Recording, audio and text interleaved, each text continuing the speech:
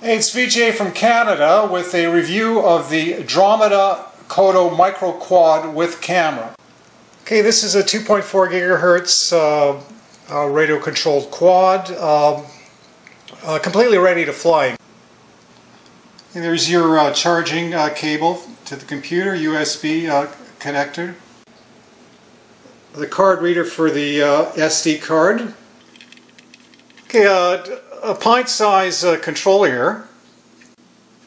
Okay, so everything out of the box, you got the bird, they've uh, thrown in some propeller guards, uh, there's the USB connector, the card reader, the unit comes with a SD card, and there's four extra propellers.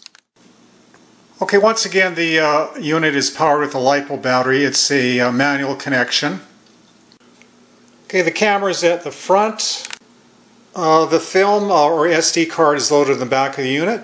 The airframe appears to be a composite material, so it looks like it's uh, built tough for high performance fun.